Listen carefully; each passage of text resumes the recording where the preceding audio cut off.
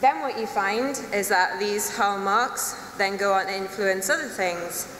And eventually you get in a case where the original hallmark making more things worse, this is then going back and influencing the first thing, making that even worse. And what you find is that this means aging is driven by multiple vicious cycles. And as a network scientist, we like to refer to aging as what we call an inflected cascade disorder. And essentially what that means is that the system's running smoothly, one thing goes wrong, this has a cascade effect, it impacts a lot of other things, these then start going wrong and eventually they feed back onto the first thing and make the whole system even worse.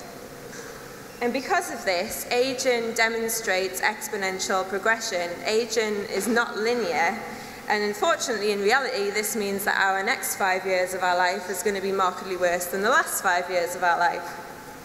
So already at this sort of high level view, what you can see is that aging is very complex. But actually, this is a very simplified version because underneath each of these hallmarks of aging, We've got hundreds, even thousands of proteins that are all talking to each other in complex networks.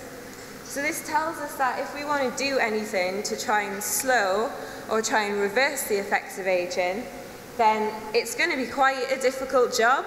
We're going to have to do multiple things to try and have any impact.